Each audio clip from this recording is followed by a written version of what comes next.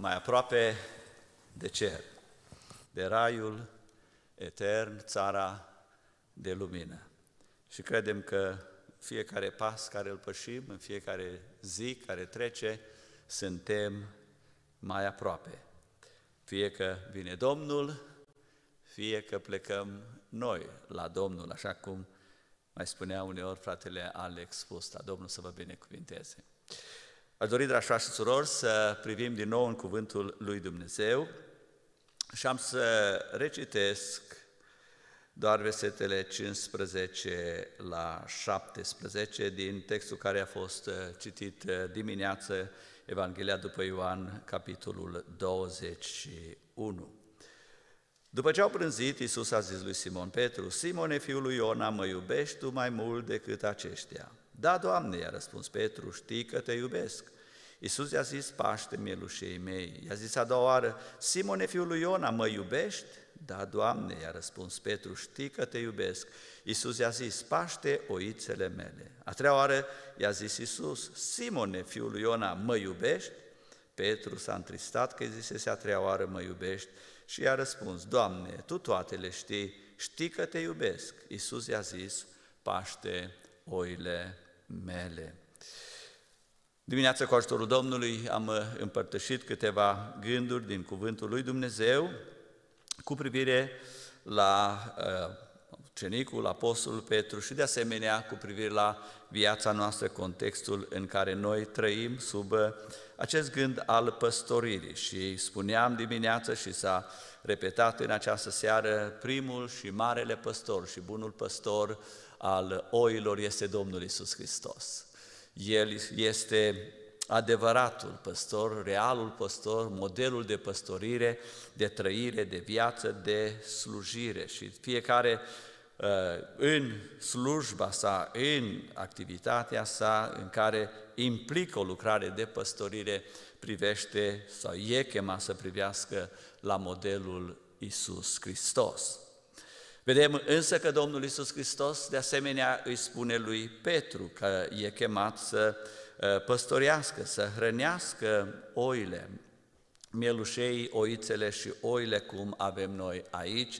Și de asemenea Sfântul Apostol Pavel în epistola către Efeseni descrie darurile de slujbe date bisericii, apostoli, proroci, evangeliști, păstori uh, și învățători. Astfel, uh, slujba aceasta de păstorire este un dar al lui Dumnezeu, uh, oferit Bisericii Domnului Isus Hristos, uh, oferit pentru a sluji în cadrul bisericii în vederea lucrării de zidire a Bisericii Domnului Isus Hristos. În slujba de păstorire este implicată această responsabilitate de hrănire. Așa cum este în slujba de păstorire fizică implicată această responsabilitate de a hrăni, așa cum spune aici, păstorește sau îi spune să pască mielușei. Noi avem acest termen în limba română, în limba engleză este feed, a hrăni. În limba română se vede și aici o bogăție a limbii române, spune de a pășuna în termenul nostru eh, românesc, care implică hrănire a turmei, a mieilor, a oițelor și a oilor, cum avem terminologia aici. Și aceasta este una dintre responsabilitățile principale, majore și s-a citit și s-a explicat frumos din Psalmul 23, eh, thank you brother Chris, că Domnul este Cel care, fiind păstorul eh, meu, mă duce la pășuni verzi și la ape de odihnă. Adică mă hrănește uh, din uh, pășunea pe care El o oferă. Un alt sau o altă responsabilitate a păstorului în perioada de atunci și în perioada de astăzi legat de turmă este și aceea de protecție a turmei, de a păzi turma. Îl vedem pe David, îl aducem din nou ca exemplu pe el, uh, fiind copil uh, acasă la părinți, la familie, la tatălui Isai, una dintre slujbele care le avea fost să îngrijească oile, să îngrijească miei și el recunoaște lucrul acesta și chiar unul din frații lui, cel mai mare, Eliab, îi spune, Cu cine ai lăsat turma aceea? Și el arată că în păstorirea pe care el o făcea, uneori era în pericol turma și spune el, venea ursul, venea leul chiar, să ia vreo oaie, să vrea, ia vreo miel și eu mergeam și îl smulgeam mielul sau oaia și astfel apăra turma, proteja turma pe care o avea în grija sa. Vedem lucrul acesta și în zilele noastre de astăzi și în Sfânta Scriptură, în imaginea aceasta, vedem că pot să fie pericole din afară, și pericole chiar din interior, cum spune Apostolul Pavel. Și astfel, una din responsabilitățile păstorului este de a proteja, de a vechea. În cartea Ezechiel, în capitolul 34, ne se vorbește despre câteva categorii de oi, chiar în ceea ce privesc oile, dincolo de uh, ceea ce ne spune uh, Apostolul Pavel când uh, se întâlnește cu uh, uh, prezbiterii din Efes la Milet și le spune să aibă grijă în păstorirea pe care o vor face, că știe că după plecarea sa se vor vârâ, vor căuta să intre în turmă lupi răpitori. Și în uh, Ezechiel, în capitolul 34, uh, spune despre Domnul în păstorirea sa, eu însă îmi voi paște oile, eu le voi duce la odihnă, zice Domnul, voi căuta pe cea pierdută, de oile se pierd. Și spuneam cu altă ocazie, Oile sunt foarte ușor în a se pierde. Am văzut lucrul acesta în sens literal și ele foarte greu își găsesc locul de a se întoarce acasă. Calul sau vaca sau câinele, pisica, mult mai repede găsește uh, traseul să se întoarcă acasă. O oaie, dacă s-a rătăcit, ea este bună rătăcită și are nevoie de păstor ca să o aducă înapoi sau cea pierdută, pilda din Luca 15. Voi lega pe cea rănită, pot să fie oi care sunt rănite, rănite fizic, rănite emoțional, vorbind din punct de vedere uman, și voi întări pe cea slabă. Dar atenție, zice, dar voi păzi pe cele grase și pline de vlagă, vreau să le pas cum se cade. Și voi, oile mele, acum se adresează oilor, se adresează turme, așa vorbește Domnul Dumnezeu. Iată voi judeca între oaie și oaie, între berbeci și țapi. Este prea puțin pentru voi că pașteți în pășunea cea bună, de mai călcați în picioare și cealaltă parte a pășunii voastre, că beți o apă limpede, de mai tulburați și pe cealaltă cu picioarele. Și voi, oile mele, trebuie și oile mele trebuie apoi să pască ce ați călcat voi cu picioarele voastre și să bea ce ați tulburat voi cu picioarele voastre. De aceea le vorbe, așa le vorbește Domnul Dumnezeu, iată că voi judeca între oaia grasă și oaia slabă, pentru că ați izbit cu coasta și cu umărul și ați împuns cu coarnele voastre toate oile slabe până le-ați izgonit. Voi veni în ajutorul oilor mele ca să nu mai fie deja și voi judeca între oaie și oaie. Evident, aici vorbește Domnul prin profetul Ezechiel despre poporul Israel, care este prezentat ca și o turmă și situația care se petrecea acolo. Dar din punct de vedere spiritual și din punct de vedere uh, al trăirii noastre și astăzi se poate întâmpla lucrul acesta și este necesar în a interveni, în a interveni cu gingășie, în a interveni cu dragoste, în a interveni de asemenea cu fermitate în ceea ce este nevoie uh, pentru ca turma, pentru ca uh, biserica, vorbind de biserică, să fie înaintea Domnului, plăcută Domnului și să aibă o direcție bună. Deci este vorba de hrănire, este vorba de uh, protecție, este vorba de veghere. Domnul Iisus Hristos uh, spune în cuvântarea de pe munte despre uh, unii care vor veni îmbrăcați în piele de oaie, dar în interior sunt lupi răpitori și astfel vor căuta să păgubească, să dăuneze turmei. Domnul Iisus Hristos, asistând de vorbă cu Simon Petru, îi spune aceste lucruri de a paște, de a hrăni uh, oile, mielușei și oițele. Pentru aceasta spuneam dimineață că este important să recunoaștem influența pe care noi putem să o avem sau influența pe care noi putem ca să o primim și această influență are efect asupra celor din jurul nostru. Un alt lucru care este legat de Apostolul Petru și este legat de noi este de a părăsi confortul în care noi am putea să fim. Petru vedem că el părăsește corabia, zice, se aruncă în mare, se îmbracă înainte, pentru că era dezbrăcat, în sensul că uh, partea de sus a trupului era dezbrăcată, se acoperă și se aruncă în mare și merge la Domnul Isus Hristos. Unul dintre lucrurile care cred că în perioada aceasta se întâmplă cu acest virus, coronavirus, este că ne scutură oarecum de pe confortul în care noi eram și ne simțeam bine, fiecare dintre noi.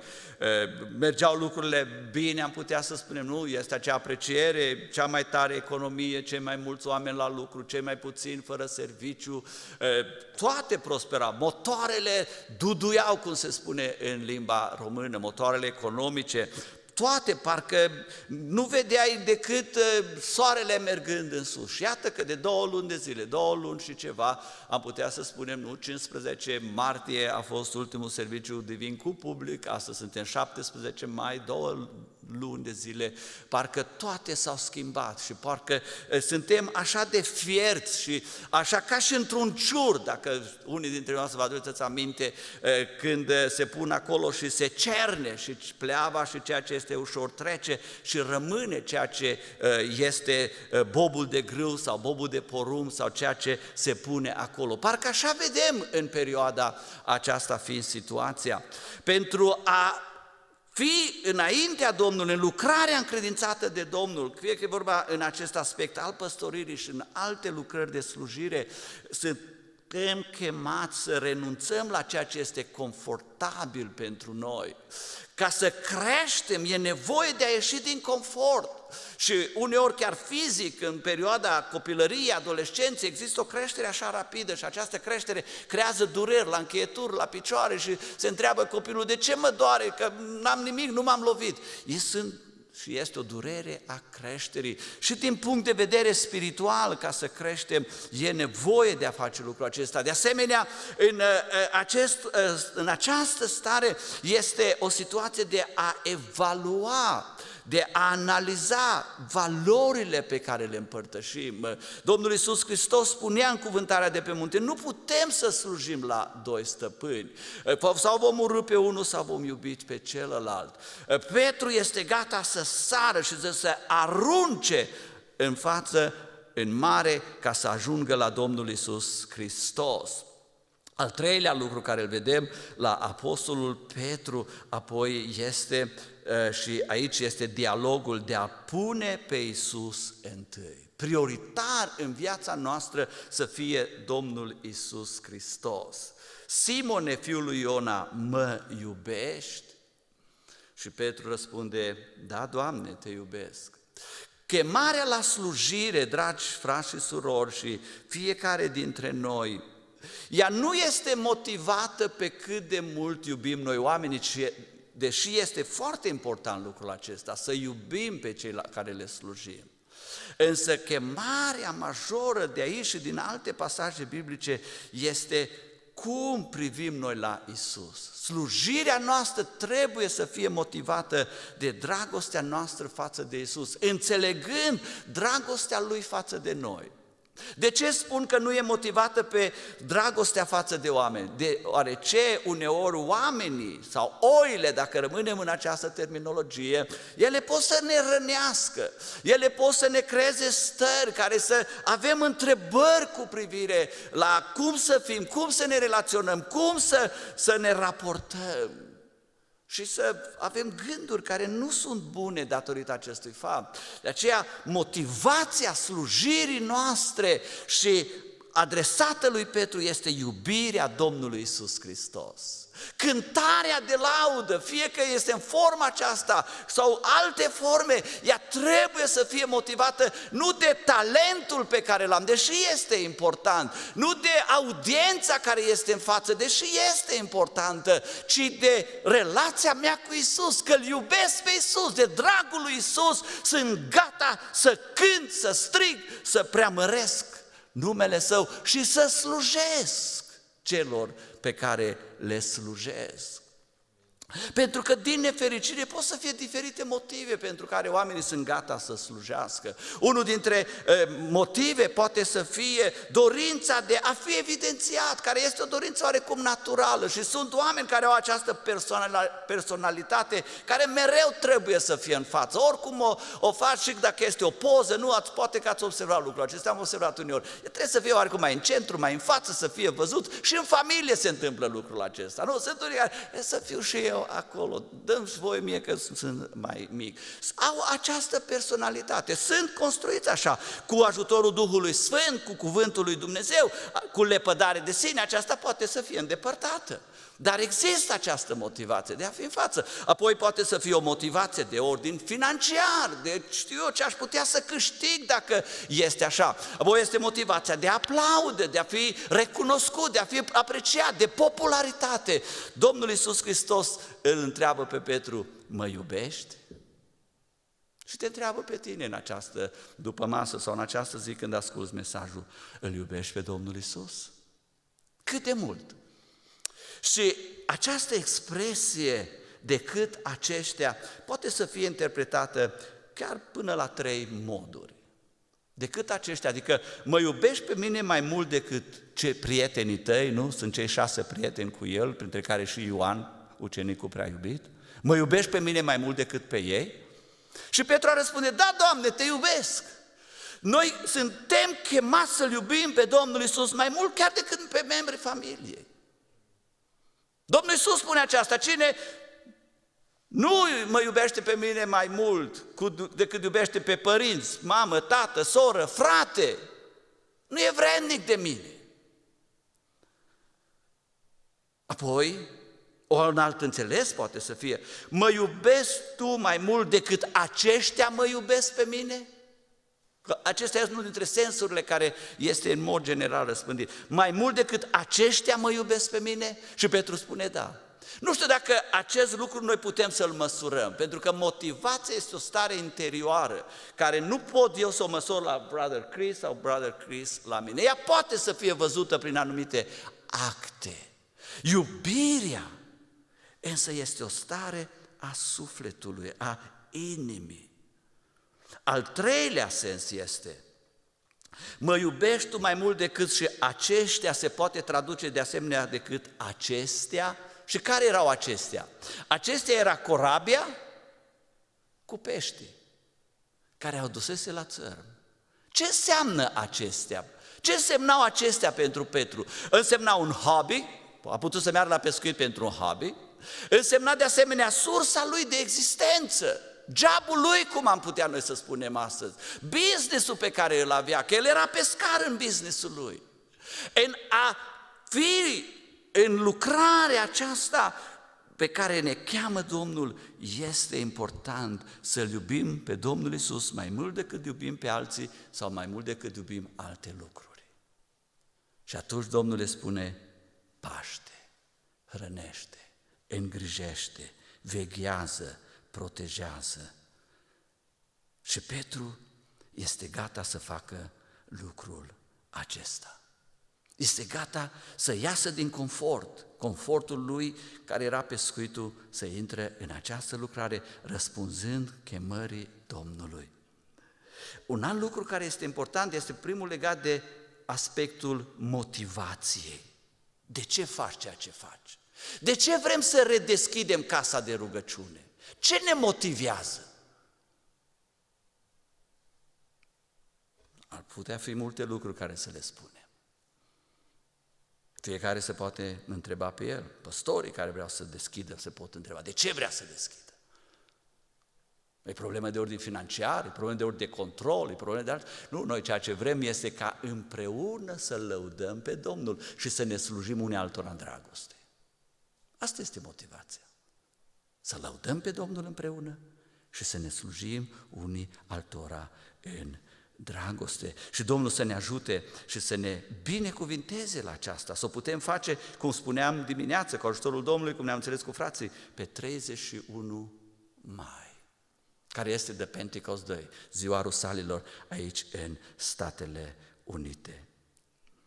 Al doilea lucru care este desprins de aici, oile, mielușei și oițele mele. A cui sunt? Ale lui Simi? Ale lui Chris? Ale lui Tony și ceilalți? Nu, ele sunt ale lui Isus. Ele aparțin lui Isus. Spuneam mai devreme că noi suntem chemați să hrănim, suntem chemați să veghem, suntem chemați să îngrijim, suntem chemați să protejăm. Dar în toate acestea, noi trebuie să ținem minte, oile nu sunt ale noastre, mielușei nu sunt ai noștri, oițele nu sunt ale noastre, ci ele sunt ale lui Isus. Sunt al lui Isus. Cum de sunt al lui Isus? El și-a dat viața pentru ele.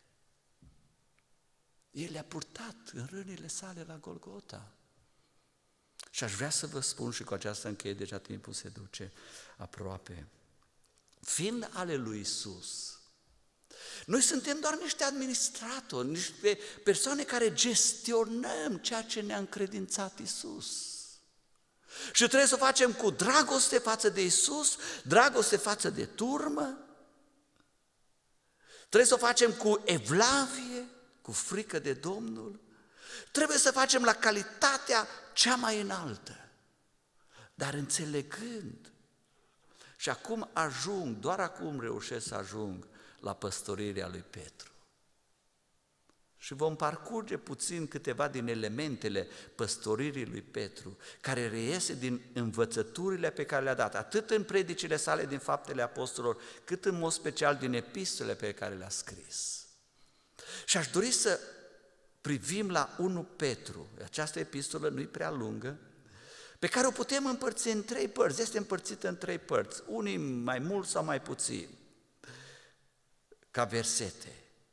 Primul mare, prima mare diviziune de la versetul 1, capitolul 1, până la 2 cu 12, unii măr până la 2 cu 11 sau chiar 2 cu 10. 2 cu 12 vreau să vedem. Despre ce este aici vorba? Despre sfințirea noastră.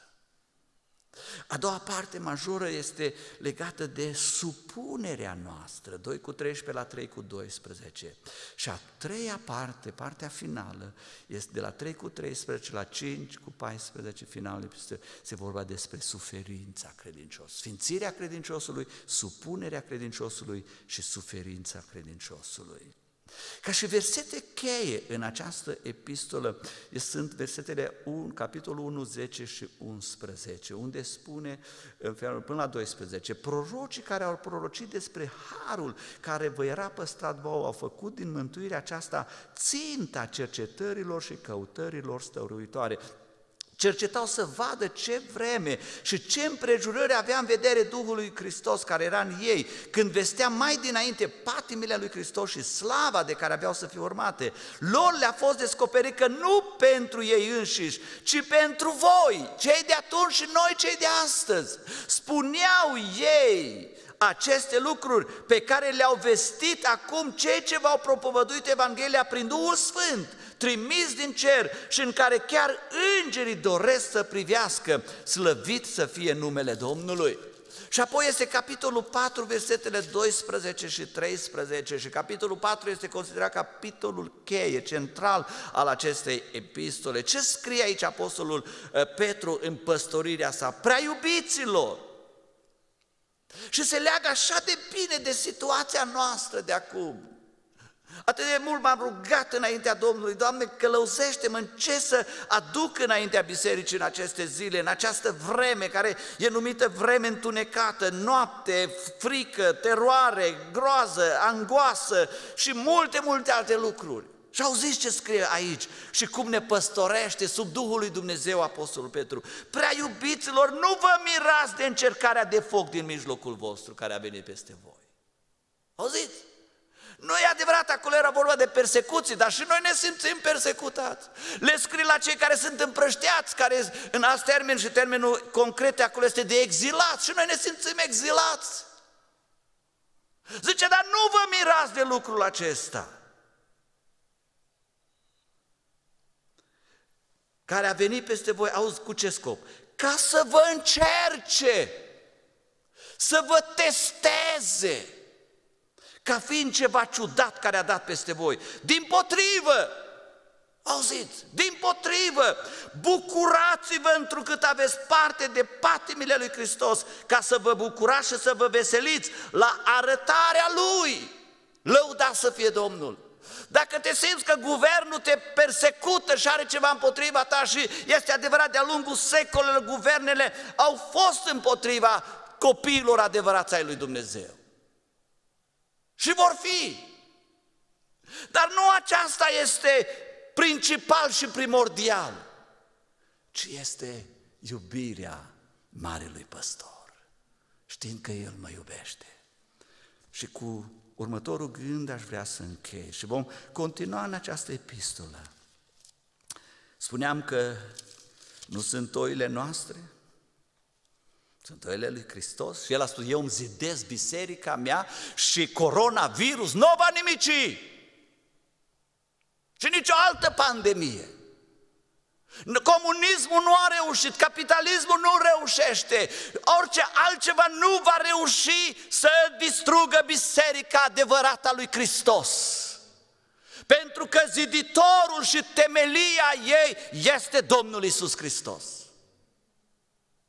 Concentrarea trebuie să fie spre El, atenția la El, privirea la El, iubirea față de El. Versetul 5, capitolul 1. Voi sunteți păziți de puterea lui Dumnezeu prin credință. Auziți, frați și surori, dragi și stimați oaspeți, cei care ne ascultați, voi ca și credincioși, voi împrășteați prin Detroit, prin Pont, Galap, de Capadocia, Asia, Bitinia. Voi exilați pe unde sunteți. Voi sunteți păziți de puterea lui Dumnezeu prin credință. Cu ce scop? Pentru mântuirea ca ta să fie descoperită în vremurile de apoi. Și ea este aproape să se arate. Mântuirea nu este dată prin guvern. Președintele nu poate să dea mântuirea. Pentagonul nu dă mântuirea. Știința care astăzi este ridicată la un alt nivel și totdeauna se spune să, să facem ceea ce este științific, ceea ce spun experții, ei nu mântuiesc. Mântuirea o asigură Domnul Isus Hristos și ea va fi descoperită pentru ca încercarea credinței voastre cu mult mai scumpă decât aurul care piere și care totuși este încercat prin foc, ca să aibă ca urmare lauda, slava și cinstea la arătarea lui Isus Hristos. Cum te comporți tu în această pandemie? Se glorifică Hristos? Aduce laudă lui Hristos? Îmbărbătează Biserica lui Hristos? Încurajează Biserica lui Hristos? Sau răspândim alte lucruri? Și poate ceva va fi intrigat, de ce tot amintesc aceasta? Pentru că asta se întâmplă.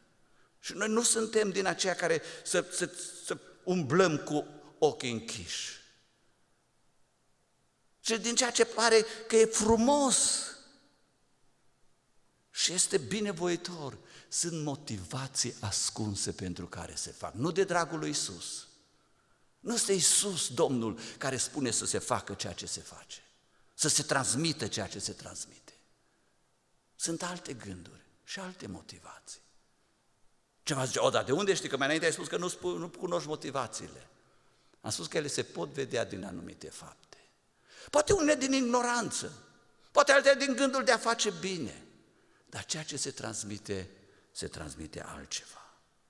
Și la cine ajunge, se ajunge la altceva. Ați văzut că Domnul spune mielușei, oițe și oi.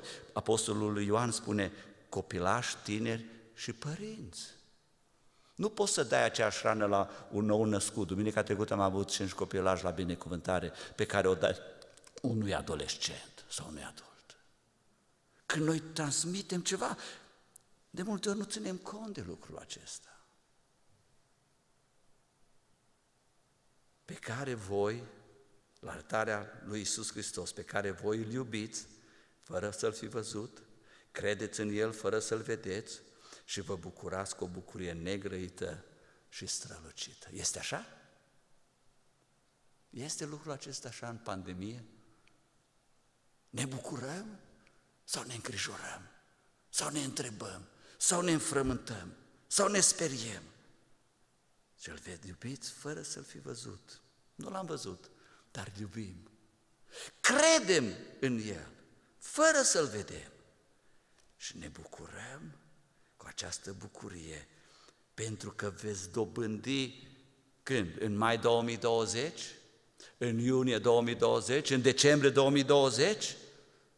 În 2021? Nu, veți dobândi ca sfârșit al credinței voastre. Eu nu știu când va fi acest sfârșit. Pentru unii a fost. Mântuirea sufletelor voastre. Dragă și iubită Biserică Betesda, frați și surori, este chemarea noastră și suntem îndemnați, vorbeam mai devreme despre slujba pastorală, dar de asemenea suntem îndemnați să veghem unii asupra altora și să ne îndemnăm la dragoste și fapte bune. La dragoste și fapte bune. Haideți să o facem. În conversațiile telefonice, în mesajele pe care le trimitem prin text messages, SMS-ul, cum să spune în românește, în mesaje pe Facebook, în mesaje pe Messenger, în, în mesaje pe Instagram, în mesaje pe LinkedIn, în mesaje pe Twitter, în întâlnirile care le avem, să ne îndemnăm la dragoste. Dragoste față de Isus, dragoste unii față de alții și la fapte bune. În perioada aceasta iese la suprafață cei mai rău și de asemenea cei mai buni. Și am văzut aceasta. Aș vrea în încheiere să ne rugăm Domnului pentru aceasta și să ne încredem că noi suntem păziți de puterea lui Dumnezeu. Să ne încredem că El continuă să ne îngrijească, să vegheze, să ne călăuzească, să ne încredem că El continuă să ne zidească. Și chiar dacă guvernele se ridică împotrivă, Chiar dacă organizații mondiale și internaționale au tot felul de planuri și gânduri împotriva Bisericii Domnului Iisus Hristos, ele vor cădea la pământ. Biserica lui Hristos se va înălța în glorie. Vei fi împreună cu biserica? Eu cred, mă rog, sper că voi fi împreună cu aceia care când va suna trâmbița,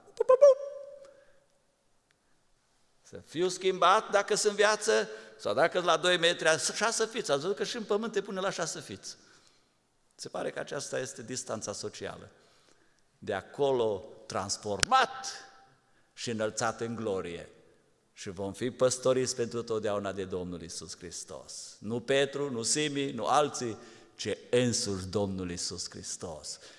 Lăudat să fie Domnul. Vrem să ne ridicăm pe picioare cei care suntem în sanctuarul dumneavoastră unde sunteți. Haideți să ne îndreptăm cu rugăciune de mulțumire. El zidește biserica. Coronavirus nu o biruie. Autoritățile nu o înfrâng. Oricât s-a ridicat împotrivă, New Age și orice alte coaliții nu vor învinge. Biserica va merge înainte. Ea aici este luptătoare, dar vine vremea când se va arăta în glorie triumfătoare împreună cu Domnul Isus Hristos, slăvit să fie numele Lui în veci. Lăudăm pe Domnul prin rugăciune de mulțumire.